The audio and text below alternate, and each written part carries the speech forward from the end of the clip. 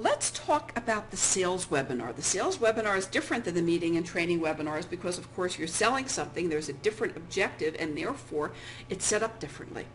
Uh, and there's some great training about this at, uh, at any of the places where you're going to get these webinars that I'm recommending. At Instant Customer, there is an enormous amount of training and support on the back end for doing sales webinars as well.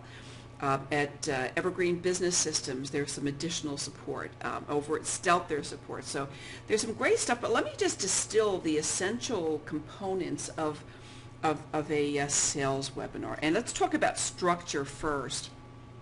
And whether you're doing the seminar alone or with a guest or the webinar, uh, you know, what you want to do is you want to work with, with three promises. It, you know, webinars work really, really well when you work in threes. Make three promises and, uh, and, and find three big problems uh, that your customers or clients have. So make three promises that will take care of three big problems that your folks have. Um, you don't want to do too much because you don't want to overwhelm them. So three promises uh, that take care of three problems. And do as much of that with storytelling as you can. You know, there, there's not, you know, you just can't, um, I can't emphasize that enough. Uh, you know, do things in parables, tell them in stories. Um, talk about the problems in terms of real people. Um, if you had the problem, talk about your problems and how you overcame them. If your clients had a problem and overcame the problem, you know, talk about it in in in in in, uh, in terms of real people, in real life stories. Don't speak theoretically. That's a very very essential uh, component of of having success with a webinar.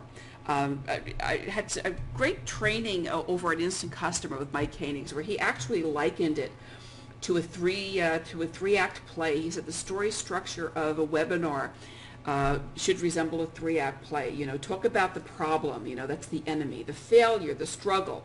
You know, the revelation of of of, of, of what you could do, the solution. You know, be the hero and then talk about the results and then offer proof about that. That really is what distills um, a successful webinar, the, the, the components.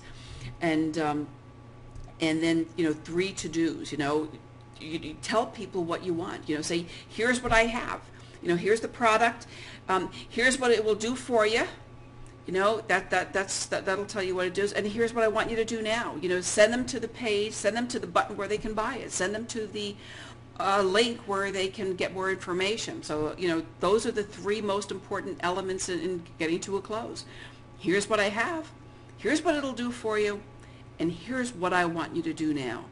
And again, that's the, you know, the essence of a sales webinar. There's lots and lots of good stuff at, at the back end of all of these places. And, uh, and we'll be talking some more about this in some bonus material we have coming up soon. So keep your eyes open and uh, and we'll take that to the next level.